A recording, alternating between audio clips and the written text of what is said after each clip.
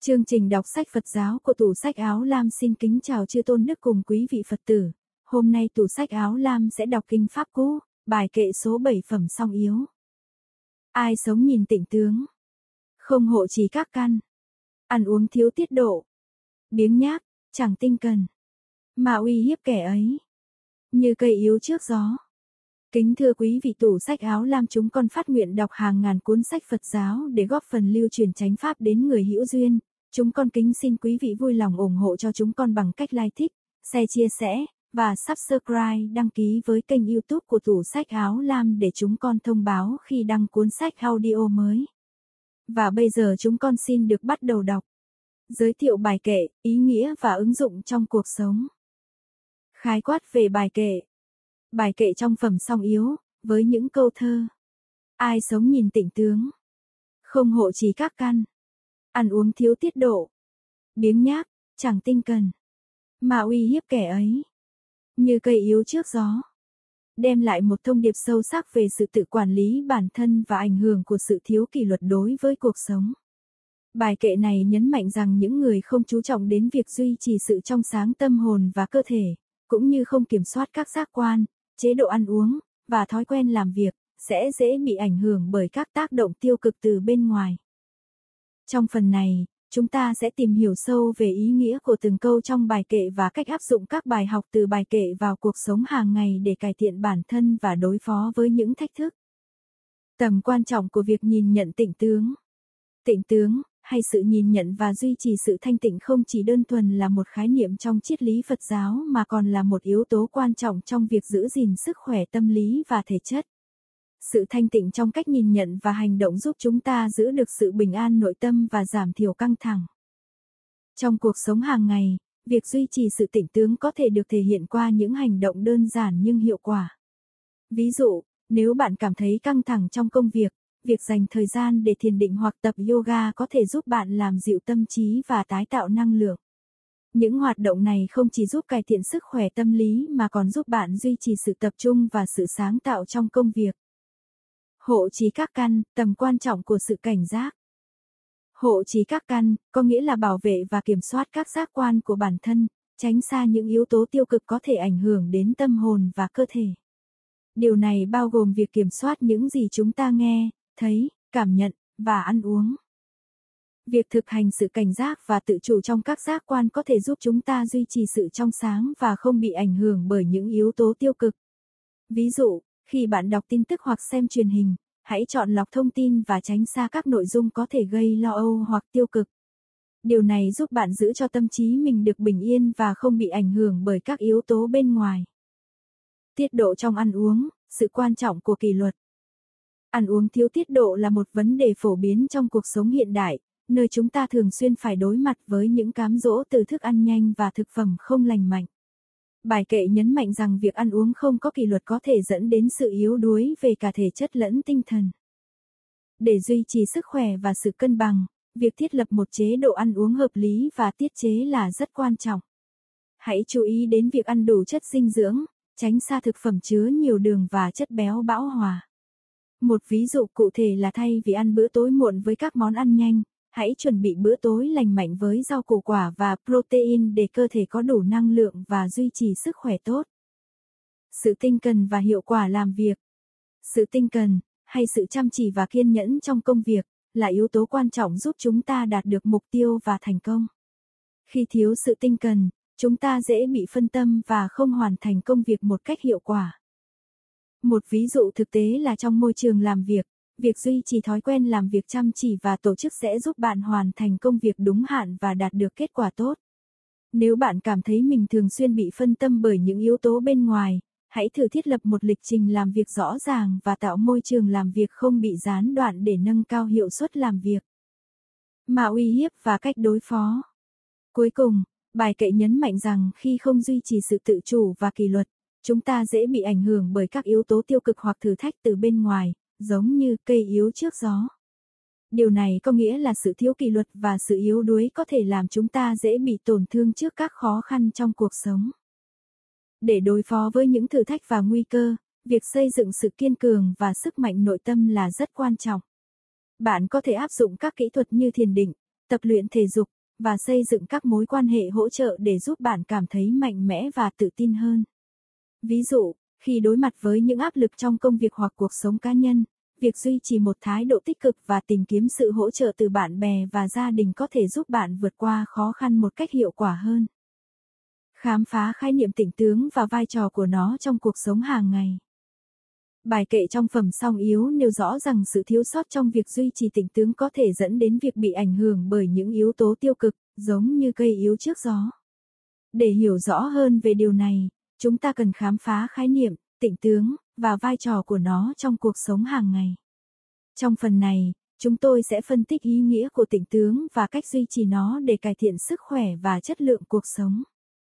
Tịnh tướng, định nghĩa và ý nghĩa. Tịnh tướng là khái niệm liên quan đến việc duy trì sự trong sáng và bình an trong tâm hồn và thể chất. Tịnh tướng không chỉ là về mặt ngoại hình, mà còn về mặt tinh thần và cảm xúc. Nó là sự kết hợp của việc sống một cách có ý thức, duy trì sự tĩnh lặng nội tâm, và có sự tự quản lý trong các hành động và thói quen hàng ngày. Khi chúng ta nói về tỉnh tướng, không chỉ là về việc giữ gìn sự sạch sẽ hay gọn gàng, mà còn về việc duy trì sự yên bình trong tâm trí và cảm xúc. Điều này có thể đạt được thông qua các phương pháp như thiền định, yoga, hoặc các hoạt động giúp thư giãn tâm hồn. Việc duy trì tỉnh tướng là rất quan trọng vì nó giúp chúng ta có thể đối mặt với các thử thách và áp lực trong cuộc sống mà không bị cuốn vào cảm xúc tiêu cực. Tầm quan trọng của tỉnh tướng trong cuộc sống. Việc duy trì tỉnh tướng không chỉ giúp cải thiện sức khỏe tâm thần mà còn giúp nâng cao chất lượng cuộc sống.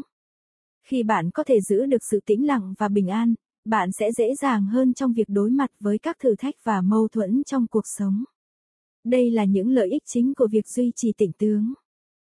Cải thiện sức khỏe tâm thần, khi bạn duy trì sự bình an trong tâm trí, bạn sẽ cảm thấy ít căng thẳng và lo âu hơn. Điều này có thể giúp cải thiện sức khỏe tâm thần và giảm nguy cơ mắc các bệnh liên quan đến căng thẳng. Tăng cường khả năng tập trung, một tâm trí yên bình giúp bạn tập trung hơn vào công việc và các mục tiêu cá nhân. Khi bạn không bị phân tâm bởi cảm xúc tiêu cực, bạn có thể làm việc hiệu quả hơn và đạt được kết quả tốt hơn. Cải thiện mối quan hệ, sự bình an trong tâm trí cũng giúp bạn xử lý mâu thuẫn và xung đột một cách hiệu quả hơn. Bạn sẽ dễ dàng hơn trong việc lắng nghe và hiểu quan điểm của người khác, từ đó xây dựng mối quan hệ tốt đẹp hơn. Ví dụ thực tế về tỉnh tướng. Để làm rõ hơn về tỉnh tướng và vai trò của nó, hãy xem xét một số ví dụ thực tế mà bạn có thể dễ dàng áp dụng trong cuộc sống hàng ngày. Ví dụ 1, thiền định để duy trì sự bình an. Thiền định là một phương pháp hiệu quả để duy trì sự tĩnh lặng và bình an trong tâm trí. Ví dụ, bạn có thể dành 10 đến 15 phút mỗi ngày để thực hành thiền định. Khi bạn ngồi thiền, bạn tập trung vào hơi thở của mình và để tâm trí của mình thư giãn. Việc này giúp làm dịu cảm xúc và giảm căng thẳng. Bạn có thể thực hiện thiền định vào buổi sáng trước khi bắt đầu ngày mới hoặc vào buổi tối để giúp bạn thư giãn trước khi đi ngủ. Ví dụ 2, yoga để cải thiện sức khỏe tinh thần. Yoga là một hoạt động kết hợp giữa cơ thể và tâm trí, giúp bạn duy trì sự bình an và tính tướng. Bằng cách thực hành các động tác yoga và kỹ thuật hít thở, bạn có thể giảm căng thẳng và cải thiện sức khỏe tổng thể. Ví dụ, tham gia vào một lớp yoga tại phòng tập hoặc theo dõi video yoga tại nhà có thể giúp bạn cảm thấy thư giãn và tập trung hơn. Ví dụ 3, quản lý thời gian để giảm căng thẳng. Quản lý thời gian hiệu quả là một phần quan trọng trong việc duy trì tỉnh tướng. Khi bạn lập kế hoạch cho công việc và các hoạt động hàng ngày, bạn sẽ cảm thấy ít căng thẳng hơn và có thể tập trung vào những nhiệm vụ quan trọng. Ví dụ, sử dụng lịch trình hàng ngày hoặc ứng dụng quản lý thời gian để theo dõi các nhiệm vụ và ưu tiên công việc giúp bạn kiểm soát thời gian tốt hơn và giảm bớt cảm giác bị áp lực. Ví dụ 4, ăn uống lành mạnh để duy trì sức khỏe. Một chế độ ăn uống lành mạnh cũng góp phần quan trọng trong việc duy trì tỉnh tướng. Khi bạn ăn uống điều độ và chọn các thực phẩm lành mạnh, bạn không chỉ cải thiện sức khỏe thể chất mà còn cảm thấy tâm trạng tốt hơn.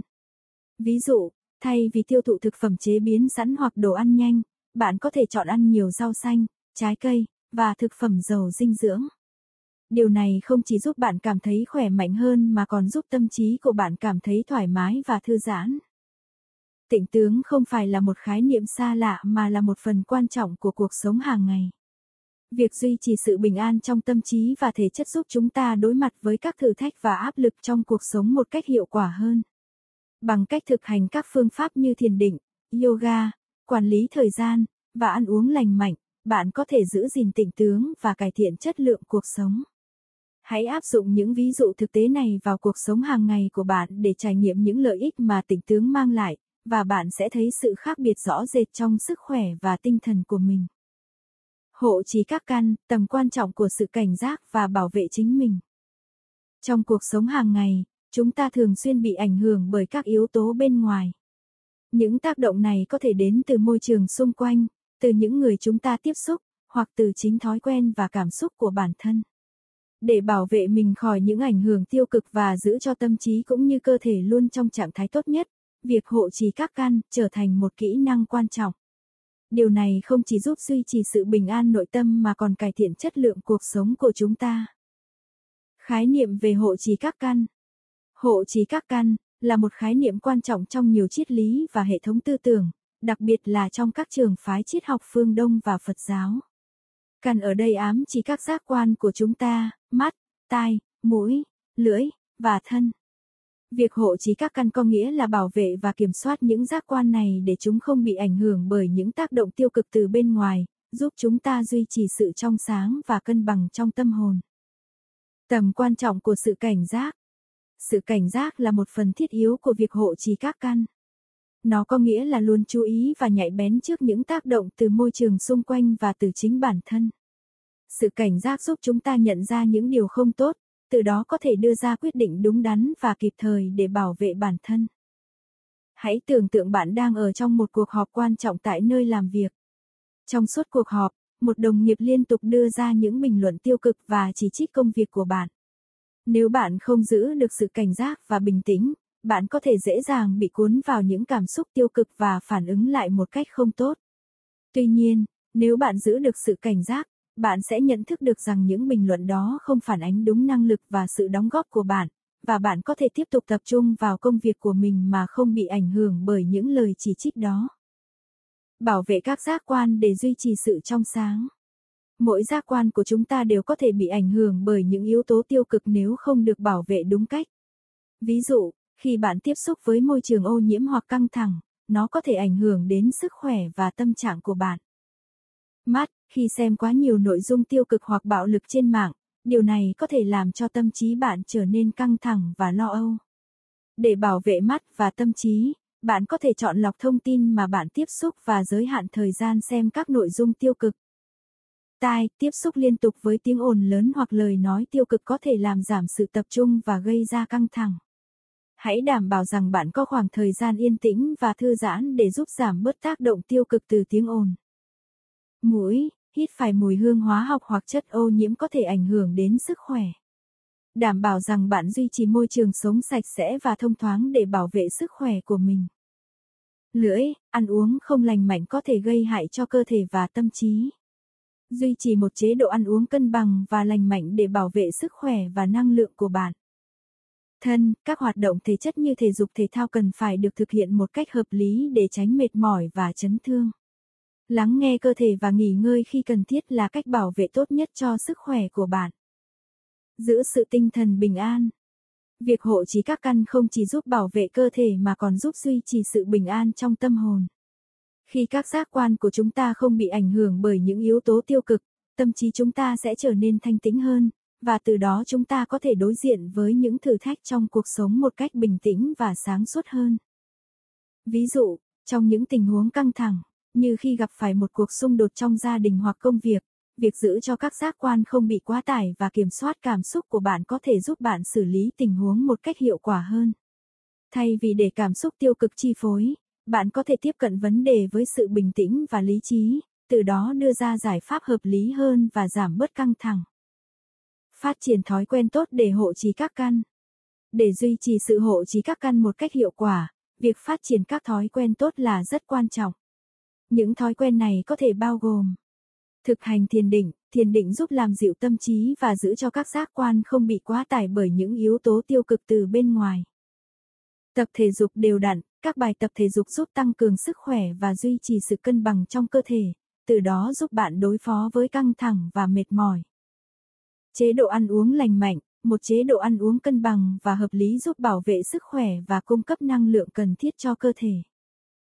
Thực hành sự tự chăm sóc, dành thời gian cho bản thân để thư giãn và phục hồi giúp duy trì sự bình an trong tâm hồn. Việc hộ trí các căn là một kỹ năng quan trọng giúp chúng ta duy trì sức khỏe tinh thần và thể chất trong cuộc sống hàng ngày. Bằng cách thực hành sự cảnh giác, bảo vệ các giác quan và phát triển các thói quen tốt, chúng ta có thể tạo ra một môi trường sống tích cực và duy trì sự bình an trong tâm hồn. Áp dụng những nguyên tắc này vào cuộc sống hàng ngày không chỉ giúp chúng ta đối phó hiệu quả với các thử thách mà còn nâng cao chất lượng cuộc sống của chúng ta. Cuốn sách này cung cấp cho độc giả những công cụ và kỹ thuật cần thiết để thực hiện việc hộ trì các căn một cách hiệu quả. Qua những ví dụ thực tế và dễ hiểu, bạn sẽ có thể áp dụng những nguyên tắc này vào cuộc sống của mình, từ đó cải thiện sức khỏe, tinh thần và các mối quan hệ xung quanh. Tiết độ trong ăn uống và sự tinh cần, bí quyết duy trì sức khỏe và hiệu suất cao. Trong cuộc sống hiện đại đầy bận rộn, việc duy trì một lối sống lành mạnh và hiệu quả đôi khi có thể gặp khó khăn. Một trong những yếu tố quan trọng nhưng thường bị bỏ qua là sự tiết độ trong ăn uống và sự tinh cần trong công việc và các hoạt động hàng ngày. Chúng ta sẽ khám phá lý do tại sao hai yếu tố này lại quan trọng và làm thế nào để áp dụng chúng vào cuộc sống của bạn. Tiết độ trong ăn uống, tại sao nó quan trọng? Tiết độ trong ăn uống không chỉ là việc ăn uống điều độ mà còn là việc lựa chọn thực phẩm lành mạnh và điều chỉnh thói quen ăn uống sao cho phù hợp với nhu cầu cơ thể. Khi bạn ăn uống không tiết độ, có thể dễ dàng dẫn đến các vấn đề sức khỏe nghiêm trọng như béo phì, tiểu đường và các bệnh tim mạch. Chẳng hạn, một người làm việc trong môi trường văn phòng căng thẳng có thể thường xuyên chọn đồ ăn nhanh và đồ uống có đường để giải tỏa stress. Trong ngắn hạn, điều này có thể cảm thấy dễ chịu, nhưng theo thời gian, nó có thể dẫn đến việc tăng cân không kiểm soát và các vấn đề sức khỏe khác. Việc duy trì sự tiết độ trong chế độ ăn uống, chọn thực phẩm tươi ngon, cân bằng dinh dưỡng và hạn chế thực phẩm chế biến sẵn sẽ giúp cải thiện sức khỏe tổng thể và tăng cường năng lượng. Những lợi ích của tiết độ trong ăn uống. Khi bạn thực hành sự tiết độ trong ăn uống, bạn không chỉ cải thiện sức khỏe thể chất mà còn có tác động tích cực đến tinh thần. Đầu tiên, chế độ ăn uống cân bằng giúp duy trì trọng lượng cơ thể ở mức hợp lý, giảm nguy cơ mắc các bệnh mãn tính. Thứ hai, khi cơ thể được cung cấp đủ dinh dưỡng, bạn cảm thấy có nhiều năng lượng hơn và khả năng tập trung cũng được cải thiện. Điều này không chỉ có lợi cho sức khỏe mà còn giúp bạn làm việc hiệu quả hơn. Một ví dụ điển hình là một người có thói quen ăn uống không kiểm soát và cảm thấy mệt mỏi, mất tập trung trong công việc. Sau khi thay đổi chế độ ăn uống, bao gồm việc giảm lượng đường và chất béo bão hòa, và bổ sung thêm rau quả và thực phẩm giàu protein, người đó cảm thấy khỏe khoắn hơn, tinh thần cũng cải thiện rõ rệt và công việc trở nên hiệu quả hơn. Sự tinh cần, chìa khóa để thành công. Sự tinh cần không chỉ là việc chăm sóc bản thân mà còn là việc duy trì sự tập trung và nỗ lực liên tục trong công việc và cuộc sống. Đối với nhiều người, sự tinh cần có thể là yếu tố quyết định trong việc đạt được thành công và giữ được động lực trong các mục tiêu dài hạn. Khi bạn không tinh cần, bạn dễ bị phân tâm và bỏ lỡ cơ hội quan trọng. Ví dụ, một sinh viên không chăm chỉ học tập và thường xuyên trì hoãn việc làm bài tập sẽ gặp khó khăn khi thi cử và khó đạt được kết quả tốt. Ngược lại, một sinh viên tinh cần sẽ lên kế hoạch học tập, chuẩn bị bài vở từ sớm, và có khả năng đạt được thành tích tốt hơn nhờ vào sự chuẩn bị và nỗ lực đều đặn. Sự tinh cần không chỉ liên quan đến công việc học tập mà còn áp dụng trong nhiều khía cạnh khác của cuộc sống, như quản lý thời gian, chăm sóc bản thân và thực hiện các dự án cá nhân. Việc thiết lập mục tiêu rõ ràng, lập kế hoạch và thực hiện từng bước một cách kiên nhẫn là yếu tố quan trọng giúp bạn duy trì sự tinh cần và đạt được thành công. Cách thực hành tiết độ và sự tinh cần trong cuộc sống hàng ngày. Để thực hành sự tiết độ trong ăn uống và sự tinh cần trong công việc, bạn có thể bắt đầu từ những bước đơn giản nhưng hiệu quả. Lên kế hoạch bữa ăn và theo dõi chế độ ăn uống, bằng cách lập kế hoạch cho các bữa ăn trong tuần và chuẩn bị sẵn các bữa ăn lành mạnh, bạn có thể dễ dàng duy trì chế độ ăn uống cân bằng. Cũng có thể sử dụng các ứng dụng theo dõi chế độ ăn uống để ghi chép và đánh giá lượng calo và chất dinh dưỡng bạn tiêu thụ hàng ngày. Thiết lập thói quen làm việc hiệu quả, tạo ra một môi trường làm việc không bị phân tâm và lập kế hoạch công việc hàng ngày giúp bạn duy trì sự tinh cần. Sử dụng các công cụ như danh sách việc cần làm và các ứng dụng quản lý thời gian để tổ chức công việc và theo dõi tiến độ. Đặt mục tiêu rõ ràng và chia nhỏ nhiệm vụ, khi bạn có một mục tiêu lớn, hãy chia nó thành các nhiệm vụ nhỏ hơn và lên kế hoạch cụ thể để hoàn thành từng bước. Điều này giúp bạn duy trì động lực và cảm thấy dễ dàng hơn khi thực hiện các nhiệm vụ. Ví dụ thực tế về tiết độ và tinh cần. Tiết độ trong ăn uống, một người làm việc tại một công ty có thể bắt đầu ăn sáng đầy đủ với các thực phẩm giàu chất xơ và protein thay vì chỉ uống cà phê. Điều này giúp họ cảm thấy no lâu hơn và duy trì năng lượng suốt cả ngày. Họ cũng có thể thay thế đồ ăn nhanh bằng các bữa ăn tự chuẩn bị tại nhà, giúp cải thiện sức khỏe và tiết kiệm chi phí. Sự tinh cần trong công việc, một nhân viên có thể thiết lập thời gian cụ thể để hoàn thành các dự án và thực hiện công việc theo từng giai đoạn. Bằng cách này, họ có thể quản lý công việc hiệu quả hơn và giảm bớt áp lực vào những thời điểm gần hạn chót. Họ cũng có thể dành thời gian học hỏi các kỹ năng mới hoặc tham gia các khóa đào tạo để nâng cao năng lực cá nhân. Tiết độ trong ăn uống và sự tinh cần trong công việc là hai yếu tố quan trọng giúp duy trì sức khỏe và đạt được thành công trong cuộc sống. Bằng cách thực hành sự tiết độ và tinh cần, bạn không chỉ cải thiện chất lượng cuộc sống của mình mà còn tạo ra một môi trường tích cực để đạt được các mục tiêu cá nhân và nghề nghiệp.